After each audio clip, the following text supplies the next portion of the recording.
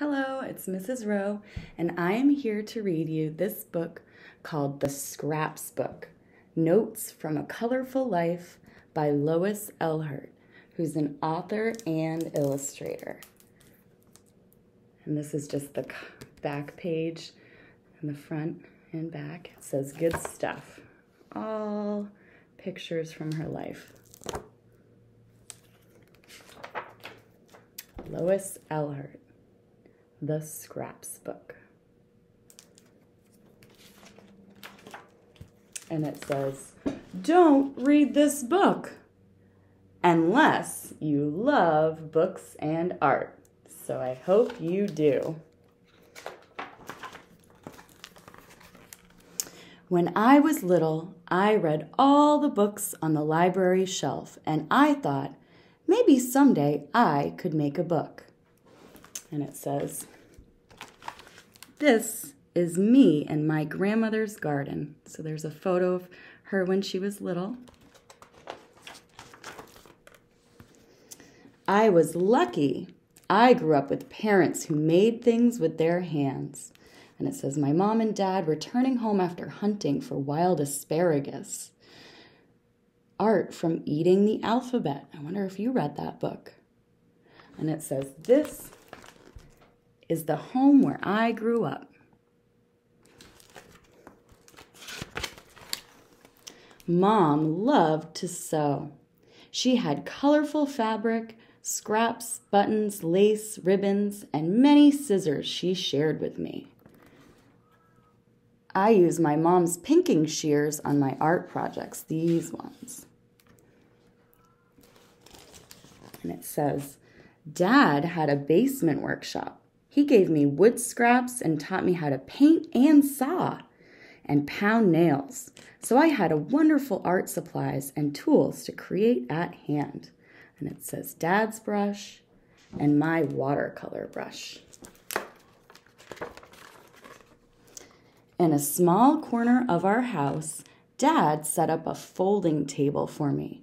It was my spot, a place to work and dream. When I grew up and left home for art school, my table went with me. And it says, This is my spot now. Look how filled with color and materials. And this is a photo of the table. Looks like she's got a lot of projects done on that one. After art school, I worked in an art studio by day and I worked on book ideas at night. I created lots of art, though not for books right away, but I didn't worry. Everyone needs to time to develop their dreams.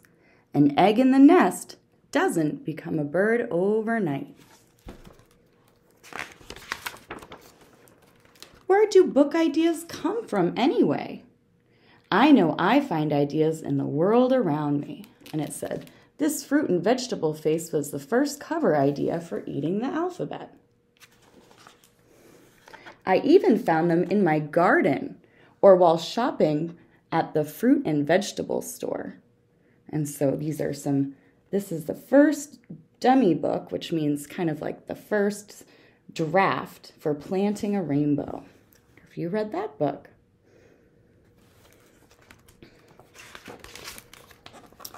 When a squirrel slipped into my house, a book idea walked right up to me. So that's, I think,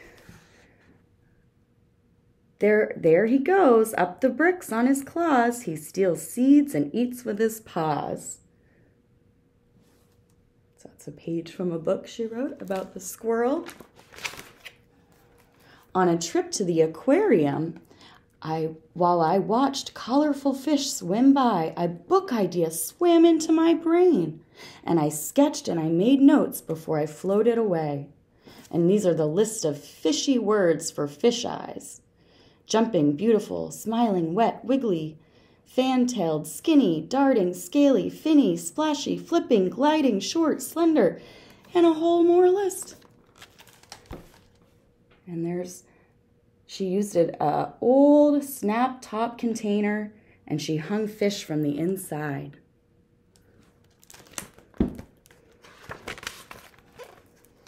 I keep my eyes open. An idea may be close by. And these are ice fishing decoys that she collects. She has lots of collections that she gets her ideas from. Once, when I visited my sister, her cat brushed by my ankle, and as he escaped out the door, a new idea. And this is art from Feathers for Lunch, which is one of my favorites, all the birds. And then she wrote, First, I wrote the story from the cat's viewpoint. It went something like this Doors let open just a crack, going out, might not be back. Food in a can is not too exciting when there are things I'd rather be biting. And then I wrote the story from the cat owner's viewpoint, and that's how it changed. Uh oh, doors left open just a crack. My cat is out and he won't come back. His food in a can is tame and mild. He's gone out for something wild. And it says red winged blackbird carved by my brother. So this is a wooden one. And that is actually my favorite kind of bird. After writing a story, I sketched the whole book, figuring out what to illustrate on each page. And she's even planning the colors on the bird, every single page in the story. You can see.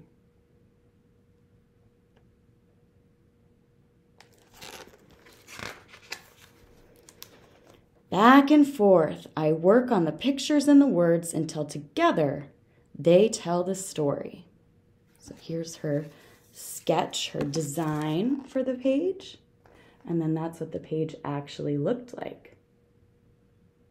An oriole, a northern oriole, and a lilac bush. This is one of her most famous books that she illustrated.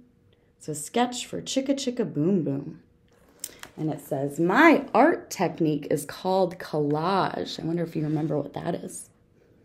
I cut out scraps like pictures of a puzzle that I assemble, meaning put together, and glue into place. So this is all her planning from Chicka Chicka Boom Boom. And I didn't know until I read this book that the polka dots from that cover are hole punch holes.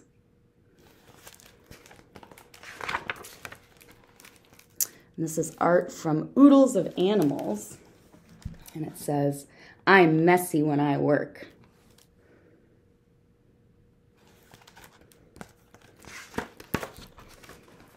Here's some more sketches.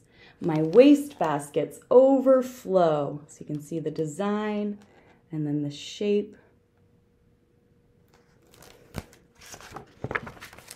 Scraps lie strewn all over the studio and more scraps stick to the bottoms of my shoes. But when ideas are flowing, I keep working. And these are all her collecting or collections from her Cuckoo book, a Mexican folk tale, and a bird puppet based on art from the book.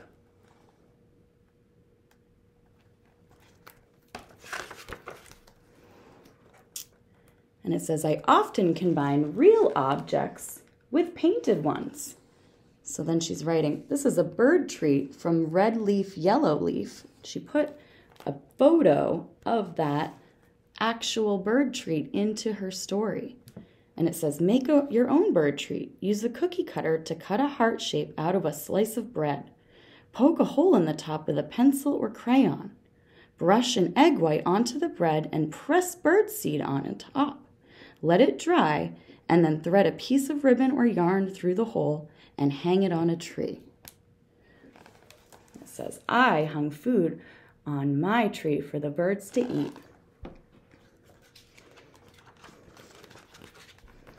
And then it says, I use odd tools to create texture. That's another great word, the feeling or look of something.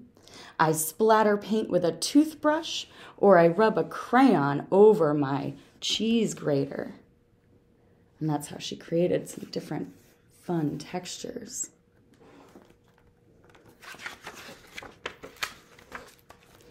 Sometimes I photograph folk art from my collection to illustrate a story. So, folk art is art that is made by all sorts of people from all over the world. You can see some of the examples here. And this is even fruit from Mexico. I use what's close at hand. So she's got bottle cap, candy wrapper, a raisin, a pine cone, a toy fish, a pencil, a cinnamon stick, Mexican scrub brush, button, seashell, strawberry, toy compass, evergreen branch, toy wheel, all these things. So she used what's closest hand, close at hand, just as I did when I was growing up. You can see all sorts of things in her snowman that she used. Sometimes I go for a walk looking for good stuff crab apples from a tree near the grocery store that I used as the cat's nose and boo to you. So there's the cat's nose that she used with that picture. And it says, black locust seed pods found in the park that I used as mouse tails. So there's the mouse tails. So she used lots of different things that she finds. And she made a little mask. So you can make a collage mask too. And it says, Mother Nature gives me free art supplies. So this is from her book Leaf Man. So this was found near the White House. This is a special leaf sent to me from San Francisco, California by my editor, Alan, found near her home in Milwaukee, Wisconsin, picked up in my sister's backyard in Beaver Dam, Wisconsin, and sent by Lisa from Billings, New York. She used all of those different leaves in her project, her book about Leaf Man. Day after day, I work until the art looks just right for me. All different pictures and drawings of plants, probably from her garden. You might ask why I chose to be an artist. Some more examples of her art. And she says, I think maybe it's the other way around. Art chose me. And there's a picture of her. It says photo by my brother Dick. And that's a picture of her, Lois Ehlert. She's holding some mice. I bet she made those out of scraps of fabric. And all these caterpillars are art from 10 little caterpillars. And it says, if you feel that way too, I hope you'll find a spot to work and begin. Begin your art. And this one says, this photograph, which I used as reference for the hen and 10 little caterpillars, was taken years ago at the Wisconsin Fair. So she used the photo of that, that guy, which she used to paint that and cut and glue all those feathers on for her 10 Little Caterpillars book. And it says, I wish you a colorful life.